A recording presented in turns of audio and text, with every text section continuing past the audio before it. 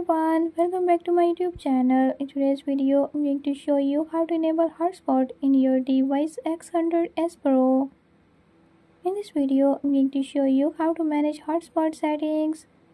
But before we get started, don't forget to hit the subscribe button and press the bell icon so you never miss out on new videos and stay updated.